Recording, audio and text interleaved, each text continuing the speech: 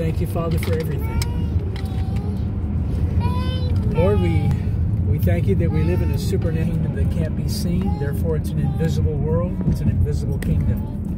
We live in this world, but we're not of this world. Jesus said, "You are in the world, but you are not of this world. Be of good cheer, for I have overcome this world." So, Father, we thank you tonight, Lord, that you have empowered us to live in an earthly world with supernatural power. I heard somebody make a comment about the president that he's living in an alternate world he should move on from the election. I totally disagree with, the with that comment. Amen. Came from a Christian too. I, I understand he's probably didn't have a bad intention, but he's actually wrong. First of all, all of us are called to live in an alternate world. That world is ruled by the principles of God's Word, by the truth of God's Word, and it's a supernatural world. It's an invisible world. Amen. There are angels you can't see. There are demons you can't see. Amen. There's a devil you can't see, and there's God who is a spirit. And those who worship him must worship him in spirit and truth. And you know Amen. what? That's an alternate world. So every Christian should live in an alternate world. We're not divorced from Amen. this life. We live practically. We work to earn money so we can buy food and provide for our families. But the way we live and the way we think should be out, outside of this world. Apart from the practical things that need to be done, you must live by faith. You must walk by faith.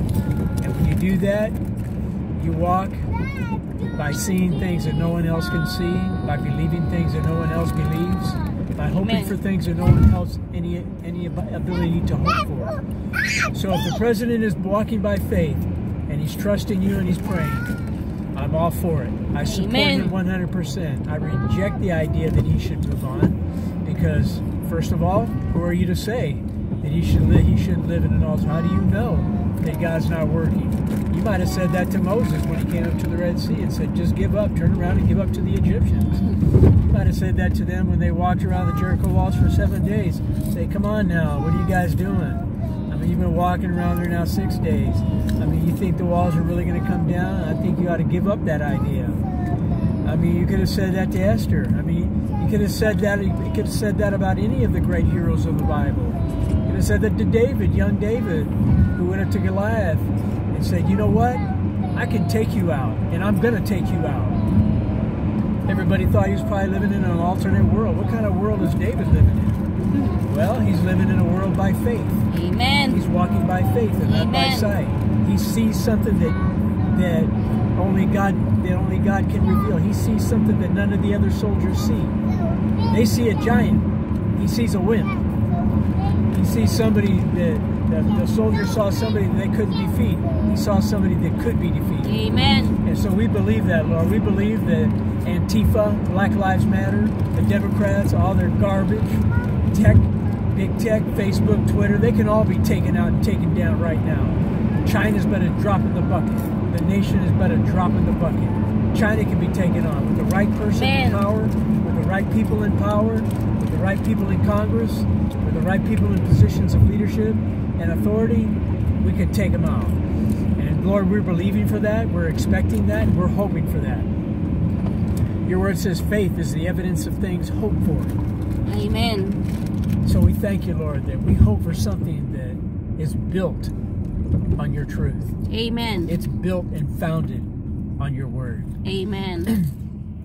Scientists, they can't go, the people, the scientists that don't believe in God, they have nowhere else to go but into their puny little head and thinking about their puny little theories of how everything came into existence. And still, it's a puny, pathetic little thought that they have in their puny little head, in their puny little minds, with their puny little brains. They're going to try to figure out what the Creator did?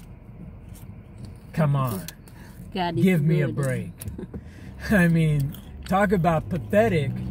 I mean, when you just step back and, and look at that for a minute and think about how a puny little brain from a man can figure out all that the Creator has done, it's impossible.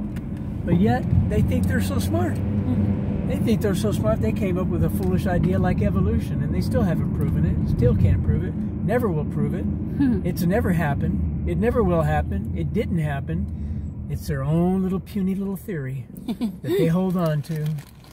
Hold on for dear life because they have nothing else to hold on to because they don't want to believe in God. So they won't acknowledge God because they they know that if they do, they come under the authority of God. And oh no. Oh, some scientists, you know, they got to believe that they're the supreme intelligence of the world. but they're not. yes, amen. God is the only wise God. Paul wrote to Timothy, to the only wise God glory and honor and dominion. Yep. Jesus Christ, the Son of the living God, the Ancient of Days, the one who was here before it was all put together, Jesus Christ, Amen. came into this world thousands of years later and died on a cross and then rose up from the dead. He's alive forevermore. He's the same one that was there in eternity before he came. The only thing, the only thing different is he became a man for a little while and then became a servant for a little while so he could show us how to live. And then he died on a cross. And then he rose from the dead. And he Amen. is alive forevermore.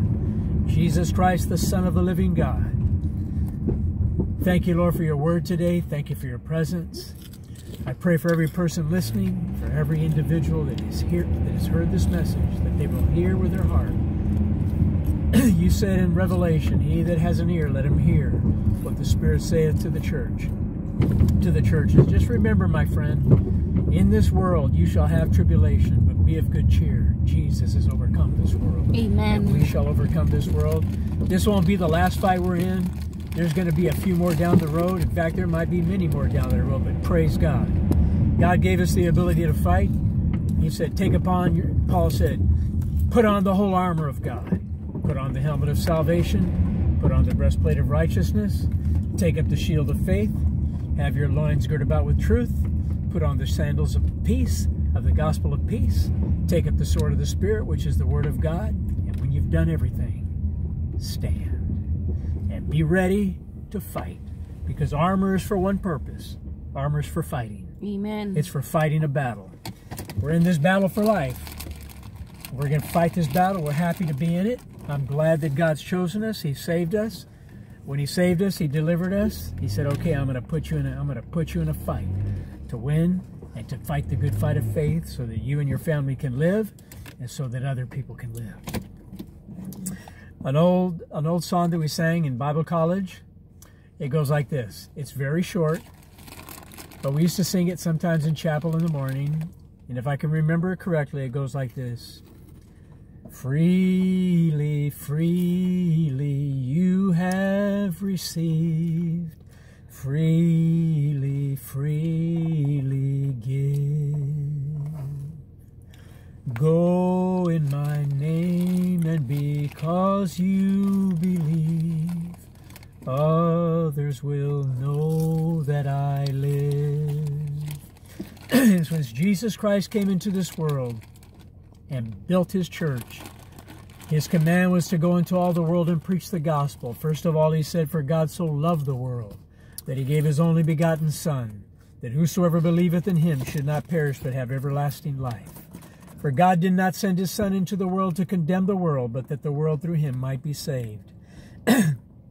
After he came, and before he left this world that he came to die for, he said, Now go into all the world and preach the gospel to every creature, teaching them to observe all things whatsoever I have commanded you, baptizing them in the name of the Father, and of the Son, and of the Holy Ghost.